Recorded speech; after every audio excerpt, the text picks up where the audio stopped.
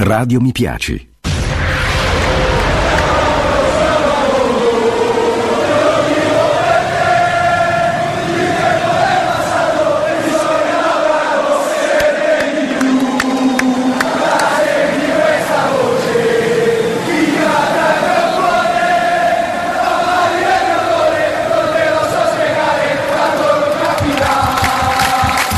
Tanto non capirai.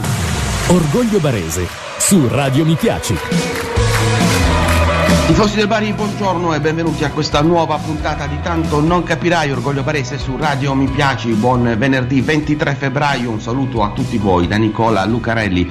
E allora ci siamo Bari domani in campo al Liberati di Terri contro la Ternana del neotecnico Gigi Decagno, fischio d'inizio alle ore 15, puntata odierna dedicata al preview del match con notizie, interviste, rubriche e ospiti in collegamento telefonico, come sempre linee aperte per i tifosi del Bari all'ascolto, contattateci per dirci la vostra o per rispondere al nostro quesito odierno che riguarda ovviamente la gara di domani del Liberati. Quello che vi chiediamo è come finirà Ternana Bari. Fate il vostro pronostico sulla nostra pagina Facebook Tanto non capirai, Orgoglio Barese su Radio Mi piace, un post per commentare la eh, trasmissione. E allora, eh, ieri Bari che ha sostenuto una seduta d'allenamento pomeridiana, la squadra ha svolto lavoro atletico seguito da esercitazioni tattiche sul campo del San Nicola, seduta differenziata ancora per Marius Oikonomu, per lui ancora terapia e difficile un recupero in vista di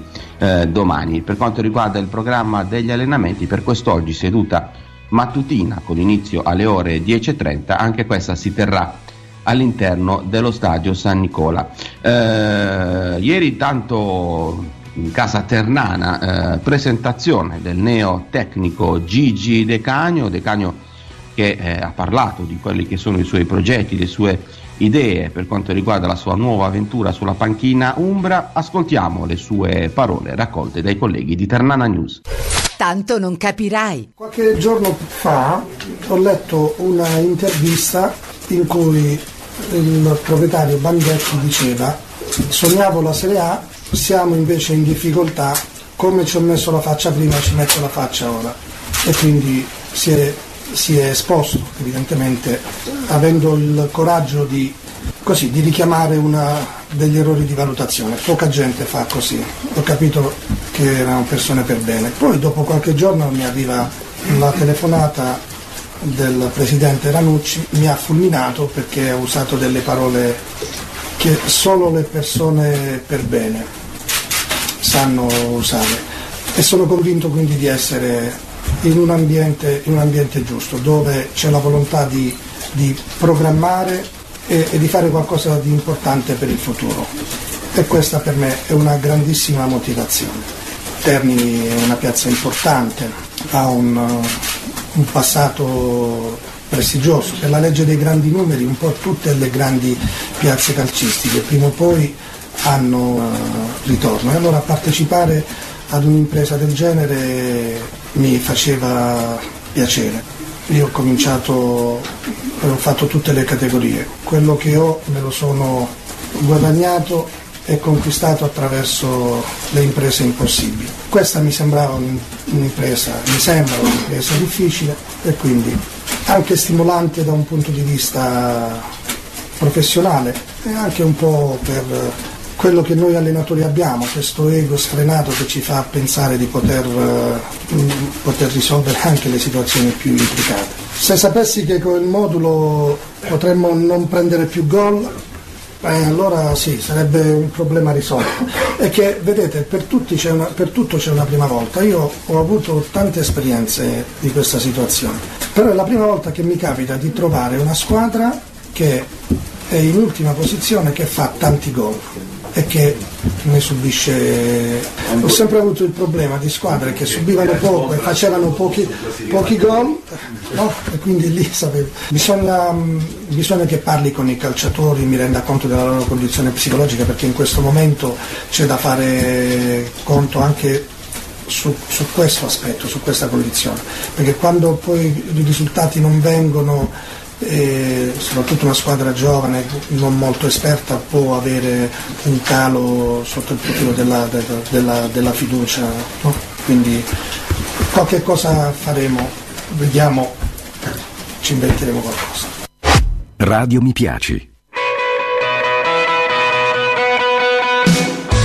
E questo Gigi De Cagno che ha quindi insomma, parlato della situazione della Ternana, squadra un po' strana perché comunque è una squadra che non ha mai avuto problemi a trovare la via del gol, però subisce tantissimi gol, ricordiamo anche la partita d'andata proprio col Bari, diversi errori che agevolarono anche la partita e la vittoria dei biancorossi, sicuramente De Cagno lavorerà su quello, ma presumo da, da, da sabato in poi, da lunedì in poi perché in poche ore si potrà fare veramente poco, come ha detto il neotecnico Umbro bisognerà lavorare sulla testa dei calciatori per capire anche in quali condizioni eh, non solo fisiche ma anche psicologiche è la sua squadra, quindi sicuramente Decano in queste ore lavorerà sull'aspetto mentale dei calciatori, vedremo un pochino cosa riuscirà a fare in poche ore, noi come abbiamo detto ieri speriamo che Decano possa far bene però a partire dalla settimana prossima perché eh, insomma, domani il Bari ha la necessità assoluta di fare punti perché eh, non vincere a Terni significherebbe veramente eh,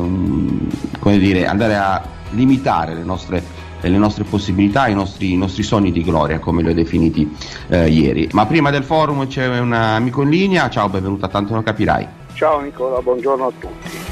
Ciao. Allora, sono Michele da Iapigia, il Bari. Buongiorno Michele. E sarà una, una partita dura perché cambiando allenatore i giocatori daranno un po' di spirito in più al nuovo allenatore, però il Bari vincerà per una rete a zero. E un'altra Vediamo. cosa volevo dire, qui a, diciamo a Iapigia sta il campo di ex di, del Bari, perché non vengono a allenarsi qui?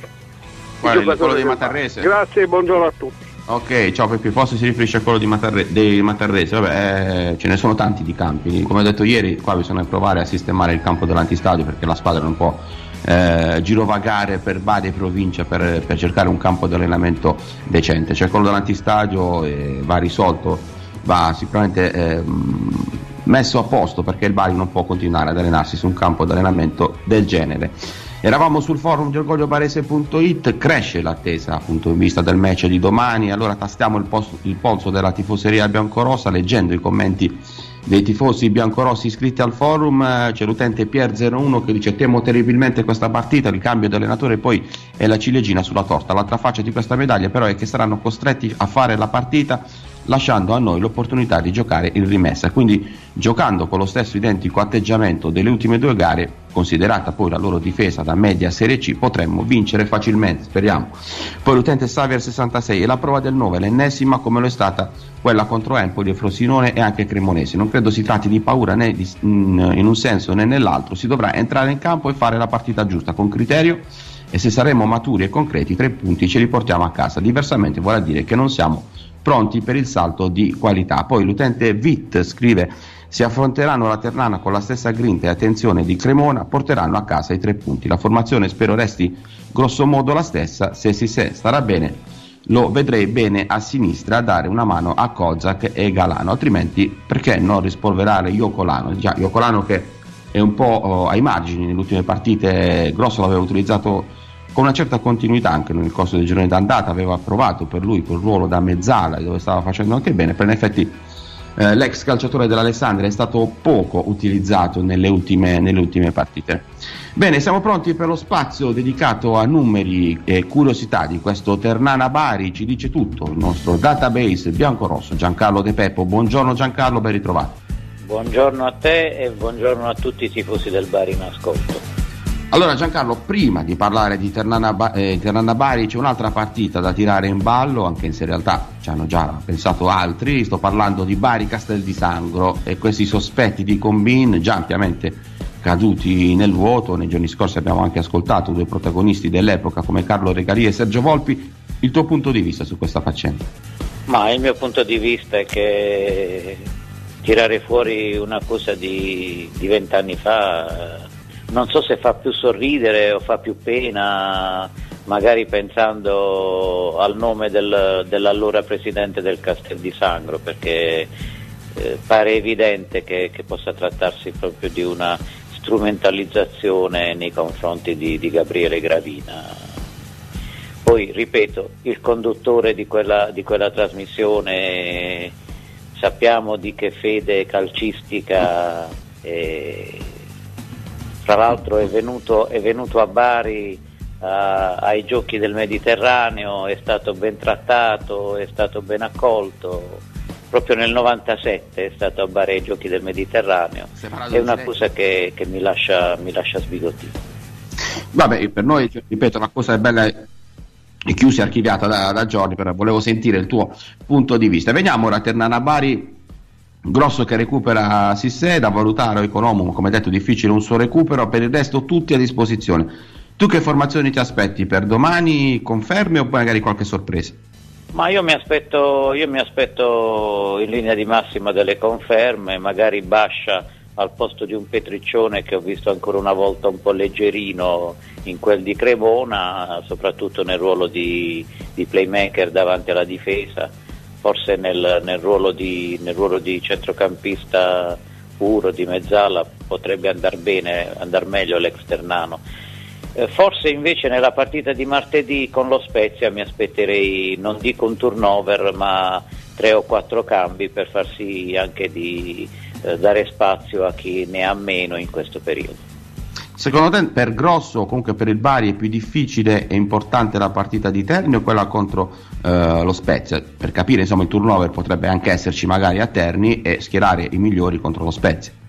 Ma io vedo come mh, mm, sono tutte le, non, non, non voglio parlare da allenatore e dire che tutte le partite sono ugualmente difficili. Eh, diciamo che forse dal punto di vista tecnico, per la forza dell'avversario, eh, lo Spezia è un, è un, avversario da guardare più con gli occhi aperti, però data la situazione della Ternana, il cambio della, dell'allenatore, l'arrivo di Decanio, l'ambiente che troverà, che troverà in Umbria il Bari, forse la trasferta di Terni nel complesso è un tantino più delicata. Intanto giungono già tanti messaggi dei nostri radioascoltatori. Giancarlo, leggiamo quello di Nostradamus, che dici? Eh, vediamo un po' che leggiamo, dice. Leggiamo. leggiamo. Lui dice: eh, Fino a Bari Brescia le mie visioni sono tutte positive.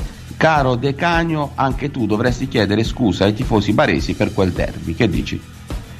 Ma mi sono un po' spaventato, dato che ah. ha, detto, ha, iniziato la, la frase con De, credevo che dovevo chiedere scusa io, a parte che sono anche io un tifoso barese, quindi ecco. chiedere scusa a me stesso sarebbe un po' difficile.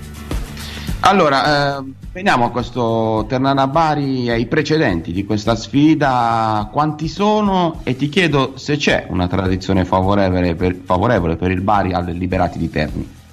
Eh no, eh no. Io, io, parlo sempre di precedenti nel campionato cadetto, eh, questi sono 18 al, al, Liberati di Terni con ben, eh, ripeto, in 18 gare 9 sconfitte, 7 pareggi e 2 sole vittorie, eh, l'ultima delle quali a maggio del 2014, ne accennavamo la scorsa volta, una, una gara che vincemmo 3 a 1 con vantaggio iniziale per gli Umbri dell'attuale bomber della SPAL Antenucci, eh, cui seguirono i gol di Nadarevic, Cepitelli e di Del Vecchio sul, sul rigore addirittura al 96esimo.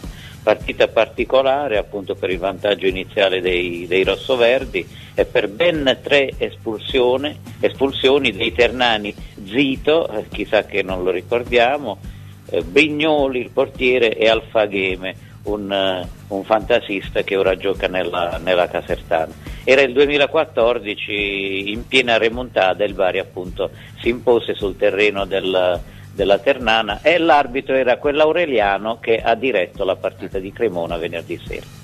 Giancarlo, vado a sollecitare la tua memoria perché eh, i tifosi della Ternana eh, diciamo che ce l'hanno con, con, il Bari per un motivo specifico, perché in passato ci fu una partita, tu ricordi quale e cosa avvenne?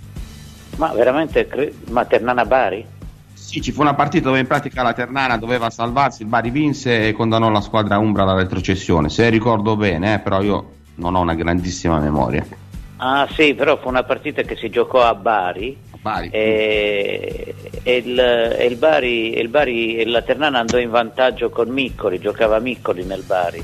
Poi il Bari ribaltò il risultato e condannò la Ternana alla Serie C. Ma anche il Bari ci sono stati sempre episodi strani, eh, ma ripeto più a Bari che a Terni. Eh, io non dimentico una gara del, del campionato 83-84 che il Bari eh, vinse con una certa eh, con una certa agilità possiamo dire, fu il primo campionato con cui passammo con Bolchi dalla C alla B e poi l'anno dopo addirittura eh, fummo promossi dalla B in A, ripeto dalla C alla B eh, vincemmo una partita sul campo con la Ternana per 1-0, ripeto però a Bari, ma una lattina colpì il giocatore eh, della, della, Ternana eh, Raggi e, e la Ternana allora non c'era la, eh, la penalizzazione, non c'era la, dire, la conferma del, eh, del, risultato sul campo quando una, una, squadra perdeva un calciatore e la penalizzazione alla squadra i cui tifosi si erano resi eh, colpevoli di questi atti e invece la Ternana ebbe la, la vittoria per 2 a 0. Per quanto concerne gli ex, eh, quanti sono e quali sono? Beh, per gli ex siamo pari in questa partita. Abbiamo eh, dalla parte della Ternana abbiamo Defendi, eh, Statella e Albadoro, mentre nel Bari eh, annoveriamo Petriccione, Busellato e Modibo Diachite. 3 a 3. Ternana Bari che sarà arbitrata dal signor Livio Marinelli della sezione di Tivoli. Quanti e quali precedenti con questo direttore di gara? Abbiamo due soli precedenti, entrambi negativi, e cioè una, una, una, due, mh, due, sconfitte entrambe in casa, la prima ad agosto del 2016, mi pare il giorno 27, eh, contro il Cittadella e perdemmo per 2 a 1, e l'altra a, settembre scorso, il giorno 9 settembre, in casa col Venezia. La particolarità è anche che con questo arbitro anche la Ternana non ha mai vinto.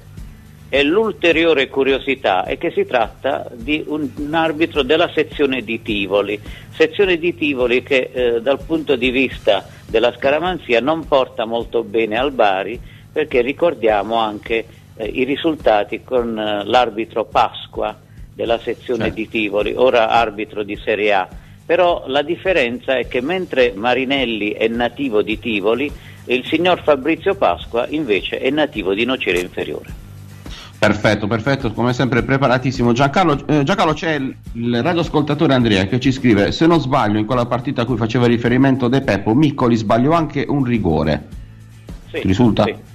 Ricorda, ricorda bene perfetto, il nostro perfetto. ascoltatore. Tutti preparati i nostri eh, radioascoltatori. Eh, Giancarlo, infine... Beh, mattina, eh... dice Bari, mattina mattina abbiamo studiato tutti. Infatti. Eh, Giancarlo, tra i tifosi del Bari c'è un po' di timore per via di questo cambio di guida tecnica nella Ternana. Ecco, mh, mm, sappiamo cosa accade quando c'è un cambio di guida tecnica, motivazioni, nuove motivazioni per i calciatori. Ecco, proviamo ad esorcizzare questo fattore. Eh, metto ancora una volta alla prova la tua memoria. Ricordi qualche partita nella quale il Bari ha trovato una squadra con un nuovo tecnico, però ha avuto la meglio, è riuscita comunque a vincere?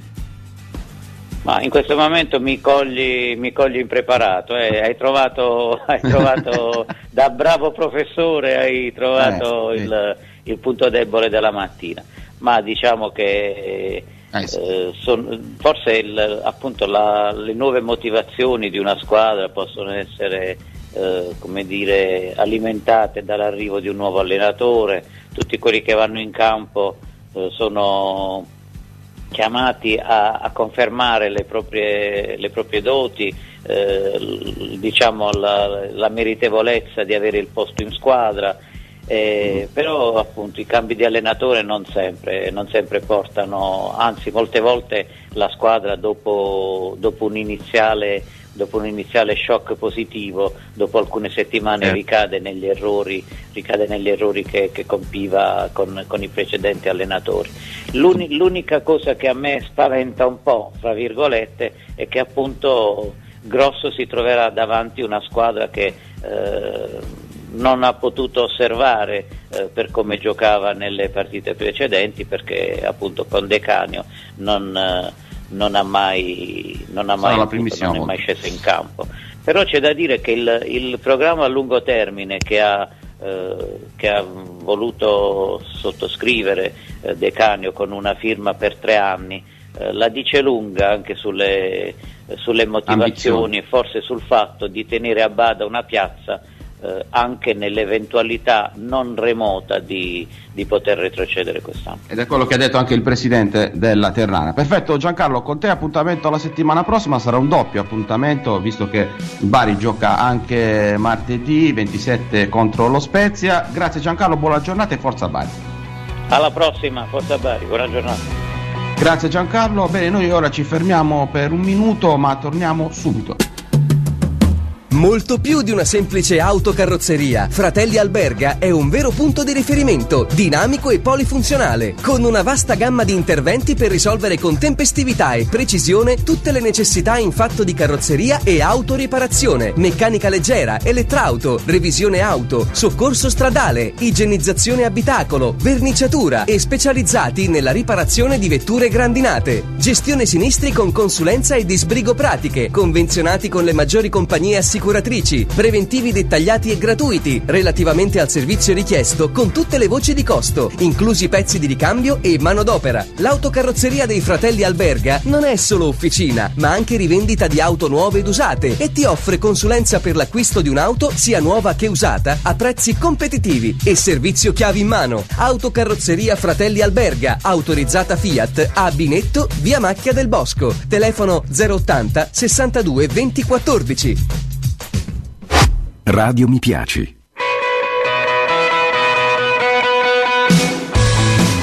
Bene, rieccoci, siamo sempre qui su Radio Mi Piaci. Vi ricordo il quesito odierno come finirà Ternana Bari. Fate il vostro pronostico, tanti messaggi, tra un po' li andremo a leggere, ma siamo pronti per il nostro secondo collegamento per lo spazio dedicato a squadra e tifoseria avversaria. Siamo in collegamento con Terni, con l'amica e giornalista di ternananews.it, Marina Ferretti. Buongiorno Marina, ben ritrovata, qui a tanto lo capirai. Allora Marina, eh, diciamo che in questi giorni non ci si annoia da quelle parti. Ecco, ve lo aspettavate questo ulteriore cambio di guida tecnica? Allora, francamente no, o perlomeno non a questo punto, perché comunque, date le parole di Bandecchi la settimana scorsa, ho fiducia in Mariani, non è un, un esperimento, non è un'avventura, tre partite così ravvicinate pensavamo che magari potesse garantire al tecnico un pochino più tempo, poi invece l'altro giorno si è venuto a sapere che comunque era, era tutto pronto, nel senso che comunque Mariani sapeva benissimo di non essere l'allenatore della Ternana ma di essere solo di passaggio per garantire alla società di trovare l'allenatore giusto, quindi ci ha un po' spiazzato, ovviamente i risultati avrebbero portato a pensare ad un esonero, ma non, non, in questi tempi, ecco, soprattutto per quello che si era detto. Ecco Marina, facciamo un passo indietro, parliamo di questa Ternana di Pokesci, una squadra comunque sbarazzina che giocava anche bene, segnava abbastanza, un tecnico sicuramente sui generis. Ecco, ti chiedo secondo te se è stato giusto esonerarlo oh, oppure magari si poteva dare un po' più di tempo considerando anche la squadra a disposizione dell'ex tecnico del Fondi, se non sbaglio. Allora Nicola, guarda, mh, mm, sul fatto dell'esonero è stato giusto dal, dal, momento che la società comunque aveva mostrato di aver perso fiducia in Pokesci, perché già avergli messo accanto comunque una persona che diciamo, supervisionasse le conferenze stampa, che impedisse di travalicare diciamo, alcuni limiti, già mi sembra indice che comunque si era persa la fiducia e quindi è stato giusto esonerarlo da questo punto di vista, anzi secondo me l'esonero è arrivato anche troppo tardi, perché comunque la società aveva già perso la piena fiducia in Pudesci prima della fine del girone d'andata, quindi probabilmente il momento migliore sarebbe stato dopo Avellino, più che altro per dare anche la possibilità a un eventuale nuovo tecnico di preparare il mercato, di comunque portare avanti il ritiro con le sue metodologie. Se tu passi la, fine del girone di andata, fai fare il ritiro a Pokesci, fai fare il mercato a Pokesci, è, è ovvio che poi però non puoi farti passare due partite, di cui una con l'Empoli che voglio dire, eh. stiamo vedendo, non è una squadra proprio delle più scarse. Ecco.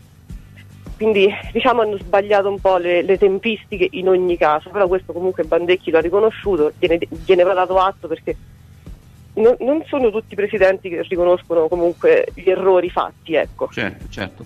E ora appunto inizia l'era De Cagno, per lui contratto triennale, poche ore per il nuovo tecnico per preparare la partita. Ecco, come credi proverà De Cagno a cambiare la squadra? Credi che potrebbe esserci un cambio di, di modulo, di atteggiamento? Perché in conferenza stampa è stato un po' criptico.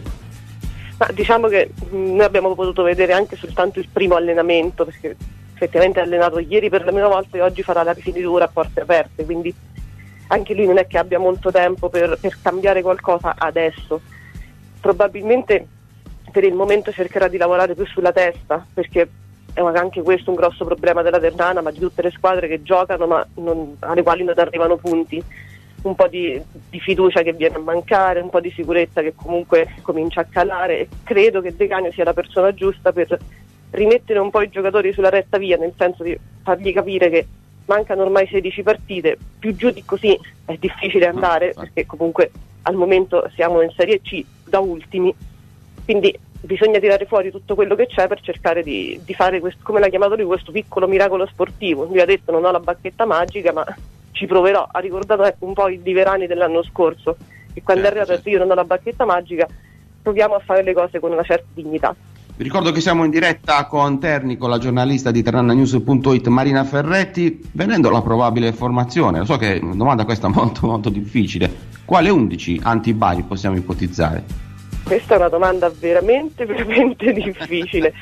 perché ah, penso che in porta comunque tornerà Frittari che ieri è tornato a Terni dopo l'amichevole con, con l'Italia l'Under 19 in Francia, quindi è a disposizione, non ha nemmeno giocato in Francia, non, non credo abbia grossi problemi.